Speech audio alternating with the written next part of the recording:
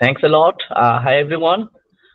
Uh, as our previous speaker already discussed a lot about the transformer architecture, chat GPT and other things, uh, I'm having a little bit assumption that all the participants here is having some kind of uh, basic ideas about various kind of uh, evolution happened in the, the world of AI. Uh, so right now we stand at a fascinating crossroad of in the technology area where our where our advancement uh, has, uh, has an impact of both as an impressive advancement as well as a daunting advancement. Both sides is there in the field of AI.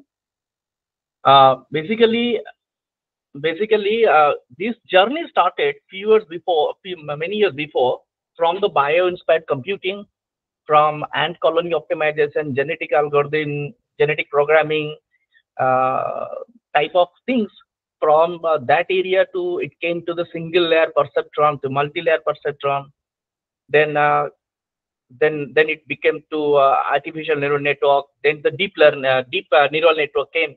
When the learning came into the market then dnn came. From dnn to cnn cnn to rnn because uh, all these things you can understand from the artificial neural network is nothing but the, the wrapper or the advancement of the earlier technology, single layer perceptron uh, or multi-layer perceptron technologies. So RNN on top of the recurrent neural network, LSTM came. So LSTM you can see is uh, more and less the advancement, technological advancement, much more optimizations happen on top of the RNN and some some kind of core framework being the constant some kind of uh, auxiliary things added and uh, some uh, memory uh, cells added and this uh, new concept come as the LSTM. Then after LSTM, then GRU came. Till this journey of the evolution of the AI, it was looking like a very, you know, that linear advancement in the already existing technology, very linear advancement. But for example, we are having, uh, my entire talk will be little bit philosophical angle, policy making angle. You see, we are having a car the car uh, for example we are having a swift then swift Dzire then some different model different advancement different accessories. So ultimately it's a car. So the approach to reach at the solution related to ai the approach is more and less same. Uh, there is some advancement in the mathematics but more and less the approach approach was very very very very similar. Uh, but when the encoder decoder came the transformer came the large language model the chat gpt kind of tool came in the market and the research area that uh, everything you need uh, is the attention that paper got released. Uh, so there we realized that the approach is getting departed from a conventional path to a new path. Uh, the new relatively new path not completely new but relatively new. Why the transformer is based on encoder decoder is based on lstm somehow connected to lstm somehow connected to gru somehow connected uh, to neural network again. So somehow it is connected but still it is a relatively new approach. It, despite of all this advancement in the current scenario, all these advancement of the transformer architecture, ChatGPT-like tools, with, all, with all our excitements, we are still firmly in the realm of narrow AI. This is the task-specific AI. Whatever we are trying to develop, that is very task-specific. So the future is, after the Gen AI, uh, if I can consider the Gen AI as a GAI, then the future is going to be the AGI, Artificial General Intelligence. You know that uh, uh, Open uh, Open AI company of Elon Musk, they have they are also working on the product development for the AGI. What is the AGI? AGI is nothing but that you will develop this artificial intelligence model and tool that will not do any specific task and that will be not trained for a specific task in in in, in specific but in generic. It can do multiple different types of tasks. Uh, just like any human being we can read uh, documents we can understand we can uh, detect the object inside the image. Uh, we can speak and we can listen all at, at a time. So different types of activity can be done by a single model. So that will be only considered as called agi right now we are after the invent of gen ai and different uh, advancement of the gen ai uh, we are still remained uh, from a distant uh, from the AGI achievement. Till now, we are not in the we are not nearby to the AGI as well. So while narrow AI is achieve, achieving a remarkable success, it is still far from the concept of generalized intelligence. we are very, very far from that area right now. So the journey towards the AGI may be very fast forward with the help of the Gen AI, but uh, I visualize that the like uh, like ANN2, uh, DNN2, CNN2, RNN, LSTM, GRU, this linear journey, it is not uh, uh, Gen AI is not a direct tangent uh, towards the artificial general intelligence. So to achieve the AGI, the industries are working on a completely new approach. And in that approach, the generative AI algorithms may have a role by assisting or augmenting the power of the developers of the AI tools. Like GenAI can develop a lot of realistic synthetic data, create models out of the fly, on the fly, multiplying the power of the AI developer by assisting them in writing codes and optimizing their algo. In this process, they can the uh, the Gen AI can make it the fast forward to reach at the uh, artificial general intelligence. This is one part. Second part is that what is coming next? My topic was that after the AI, what next? What do you need to think about? The next part is that you think uh, right now we are talking a lot of uh, points about uh, data security, information security. So we are concerned about data security, information security, government of India, government of state governments, various countries across the world. They make data security policies. They make act and law that protect the individual of the citizen of that country from data theft and data misuse. Right now, we need to also think about intelligence security because you understand tons of tons of data. The hacker is not interested in that data. The hacker is interested a AI model which executed its program executed itself on the tons of tons of data and the crispy output of that tons and tons of data is represented or manifested it into a mathematical equation and if somebody will steal that mathematical equation he don't need the tons of tons of data so the government need to uh, is, is, in a process to create policies and uh, act and uh, legal framework to protect the model or the the intelligence of uh, a digital intelligence in addition to the data and informations, right? So this is one aspect that we also need to think about how to protect the intelligence of the AI models uh, in our future uh, endeavor. This is one aspect. Uh, now another aspect is that uh, AI or uh, you know generative uh, sorry general intelligence artificial general intelligence these things are going to come up in near future it is not much uh, ahead of time but it is at least will take some years so when we are thinking about the future uh, we should not uh, consider or visual visualize our future of the ai in isolation there are various kind of different technological landscapes they are also developing they are also evolving very rapidly in the same pace as the AI, but uh, uh, not visible to the other regular public. Just like, for the example, quantum computing. Uh, we, if you're considering the future of AI, well, how it will be, then high performance computing, the supercomputer, the power of computation is very, very important because if there is no TPU, Terra processing uh, know, TPUs of uh, uh, Google, if there is no concept of GPU, then possibly there was no deep learning came came to the market could, could have been possible. Deep learning could have not could have not been possible of the GPU because you need a lot of computing power. So when you're talking about high performance computing is very very important for us, then how can you ignore the landscape of development uh, happening in the quantum computing area? You can imagine few years before we are discussing and arguing that uh, Google is claiming that he is having a quantum computer, IBM is claiming that they are having a quantum computer. That is true or wrong, true or false. It is a fake news or correct news. But what happens after a few years uh, after in 2024? Right now, Google, IBM, in fact, India and Tata Institute of Fundamental Research, they are having the real quantum computer in their premise. And after that, we got convinced that the hardware of the quantum computer is not accessible to normal public. So being a researcher, we may not have the access to the hardware, the, the quantum computer. So research is very limited. So we never focused on that area. Within few years, what happened? Companies like Google uh, uh, uh, released a product like Cirq, and IBM produced uh, released like uh, Qiskit. In the silicon Qiskit, you can write a code software you can code program which can be executed in a quantum computer. And if you want to execute in a quantum computer, what you need to do is that you simply push the program into the Google uh, Google Cloud or the IBM Cloud. Uh, the IBM will take the program and execute in a real quantum computer and get the output back to you using the cloud computer. Basically, quantum computer as a service. You can use it. You can go to the Google and search IBM quantum computing platform. They can give you a free of cost. You can write a program and execute in a real quantum computer, get the result back. So this advancement is happening in the different part, different landscape of the quantum computer. One time will come when we will think that uh, this uh, quantum neural network concepts, the quantum neural network concepts can be uh, can be uh, very possible. And when it will be very possible, just imagine that you can run a AI model, a neural network based model, or any Gen AI type of thing, uh, thing model. On some systems they are 100 times faster than what we currently uh, what what capacity currently we are having. So quantum neural network will be remain.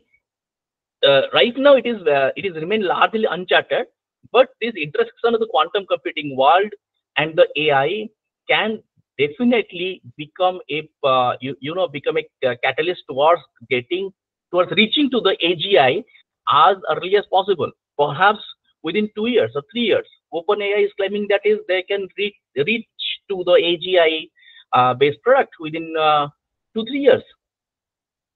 Now, when we have the Gen AI, when we have the AGI, you think about a concept called technological singularity. What is this concept, the technological singularity? The singularity is a physics uh, point, and technological singularity is a point uh, at which the technological growth becomes so uncontrollable and irreversible that anybody cannot predict what is going to happen. For example, you have developed a tool that can create another tool which is much more intelligent than itself, the original parent. Then the second tool can create another tool or another product which is much more intelligent than the second one. And it will create a cascading effect and the output and the result that is not predictable to our human being. So that is called technological singularity. This technological singularity maybe go towards a positive direction, may go towards a negative direction as a result of which the most uh, uh, the top technocrats in the entire world they sit together, they are doing analysis, and accordingly they're taking very uh, very cautious steps toward the AGI development. And after Gen AI, where it will go, where it will move, they are taking very very very very cautious decisions and steps and the research are very targeted. Uh, they have to go through the stringent ethical uh, uh, committees, rules and regulations to go uh, in that uh, part. Uh, not going further into the tech parts, what I like to say that how this Gen AI or AGI in future, if it is coming in the futuristic AGI, is going to help the humankind, the government, the policymakers, in in which manner you see, uh, we have the, some some examples we are having. You see, uh, there are uh, subsidiary intelligence bureau in a country. Uh, there are military intelligence in our country. There are there are you know raw uh, research and analysis doing in our country. So every intelligence unit they used to give their intelligence to the government and share intelligence with each other. To military, to police department, police department to military, they used to share everything uh, uh, uh, the the the the the, info, the intelligence need to be integrated. And the intelligence need to be you know that uh, uh, a fruitful a fruitful intelligence conversion from information to the intelligence is a tough job.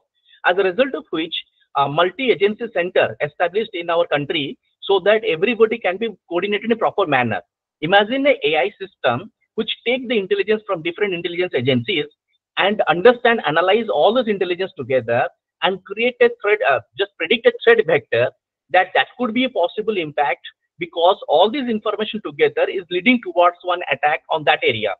So the intelligence can also be automated and the prediction can also be automated. Uh, second uh, use cases, what I can understand that, you know, United Nations has defined that 17 SDG goals, sustainability development goal for each and every country. Uh, most of the goals are very overlapping with each other. For example, if in one of the goal you want to food security, you have to expand the area of the agriculture. In another goal, you have the environmental protections where you have to expand the forest area. So they're very counter overlapping to each other. If you want to expand this particular vertical and develop the one vertical, then another vertical is affected. So it is quite impossible that we can be developed in all the 17 verticals. Eight, we are having only possibilities that we can have a well-balanced SDG. Means uh, we are not completely food security, yet we are not completely bad environmental uh, parameters. So how to reach each verticals in an optimized manner and what is the optimized manner to find out that we are having a lot of IT verticals, IT software ecosystems, how these particular software ecosystems we can get the telemetry data, then the AI can analyze, I can suggest that what government, government policies uh, can be recommended so that all these 17 development goals can be achieved uh, without affecting each other in a much more best optimized way. So that could be one possible and very effective uh, policy making level how the GNAI can help the government. Uh, third thing is that the you know that currently we are having very low uh Uh, uh, uh, success rate in while you are having some court case, you are having some problem in the court. Then in the court itself, right now we are using the AI tools to analyze the court case and give suggestions, recommendations to the judges to help them in rapid decision making. Uh, in the future, the GNAI can also use, can be used by the law enforcement agencies by taking the investigation fact reports and doing the investigation, connecting the uh, missing dots together and create the theory on which the law enforcement agency can act to resolve any uh, cases very easily also. These lists are endless when we are having uh, the tool in, in our hand, the power in our hand, these lists are endless and there can be n number of uh, use cases but right now, instead of focusing on the application, how it can be very useful to the society, we may need to work on making the technology robust. Number one, safe. Number two, secure. Number three. So uh, uh, as I was told that I have been provided for 10 minutes of time, so I just like to conclude here so that other participants can get a fair chance of uh, chance of their share. So if any any questions or anything will be there, so we can, we can have a discussion. Otherwise, we will conclude here. Thank you.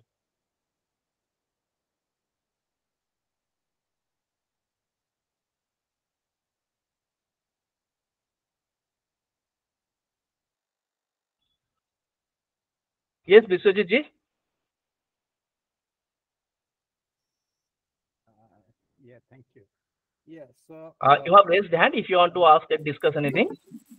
Uh, Mr. Niladri, can you please enlighten us, like, what do you mean by the synthetic data? Synthetic data. And You're talking about synthetic data, right? Yeah. yeah. Uh, basically, whenever we are working on the AI, there are two types of uh, models. One uh, basically take some data, some voices. Manoji, just uh, there are two types of things. Is that they takes uh, data for training data set, and we work on the training data set, then generate some kind of um, uh, model. Uh, AI models are of, of, course two types, in which uh, there will be one model and there will model free. AI can have, uh, it can generate a model. It may not generate a model, still it can be AI. So again, AI can have two things. It may have training data, it may not have training data. For example, though in those cases, in, to develop any AI model, you need some training data and you don't have the data, then what happens? Our researcher goes to the Kaggle and uh, some training data sets of foreign countries, some some some data set from US and Russia, some uh, some data sets which is already augmented or manipulated data sets, and uh, those data sets they want to use it in the context of India. So due to the lack of data sets and proper data sets, our researchers get hampered.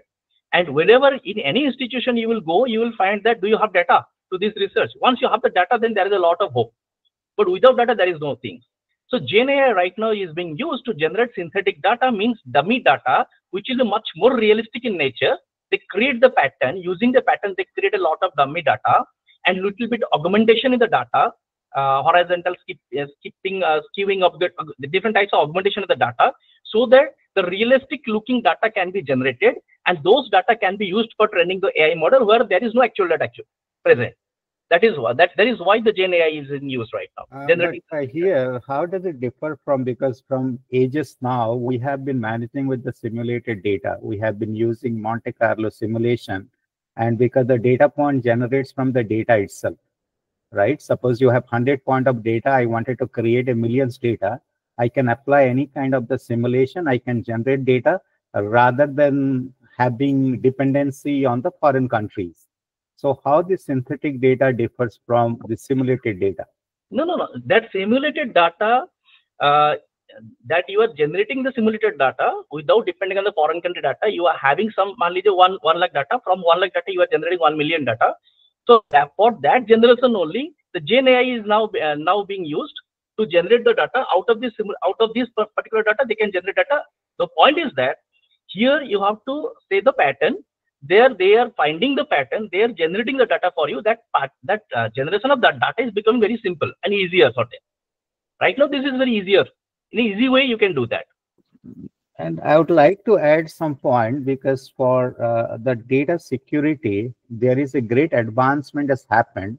Now, uh, because we all know the MeitY is the statutory body for cyber security, right? So it's the government of India statutory body for cyber security.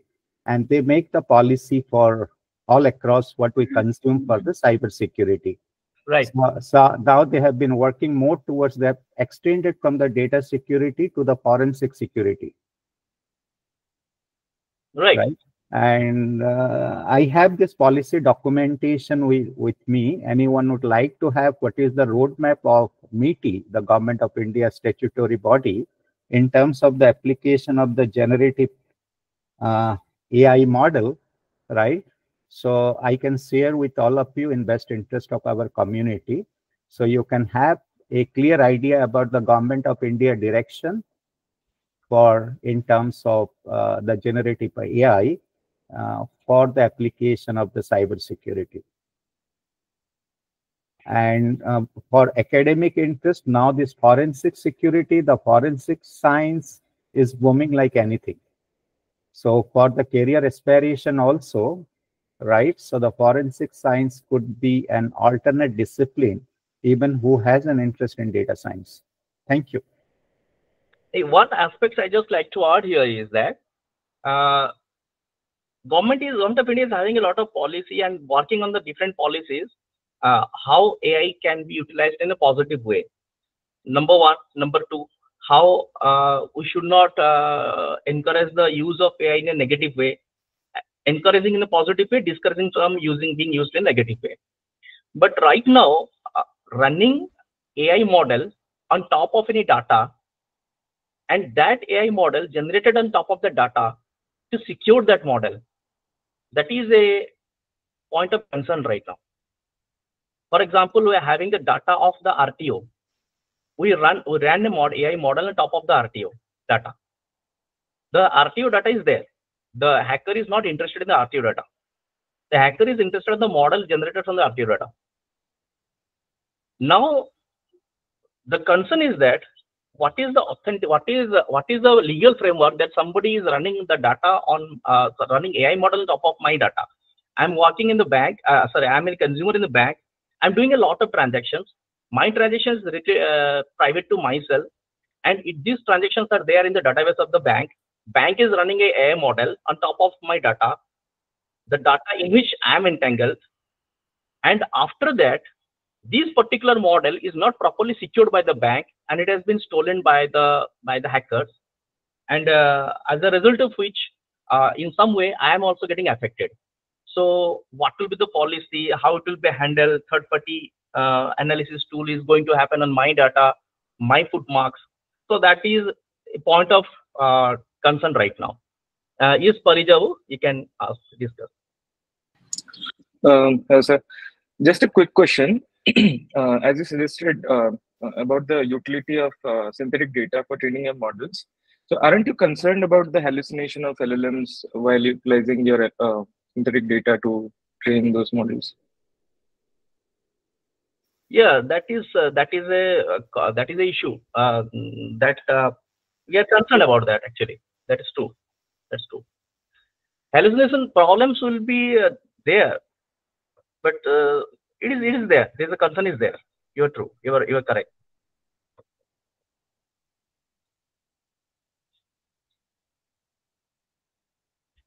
The problem is here is that the tool, uh, the the the model that is used to, to generate the uh, generate the uh, synthetic data, and uh, the, if the same model can able to consume the data to enhance itself, so anyway,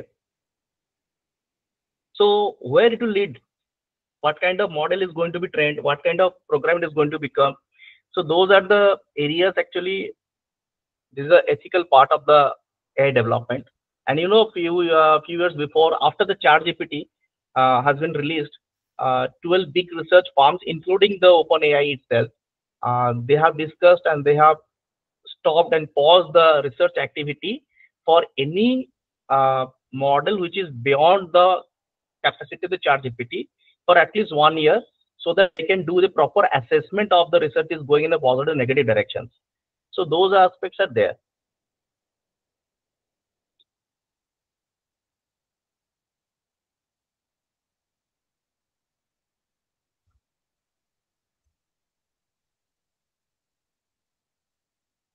Thank you.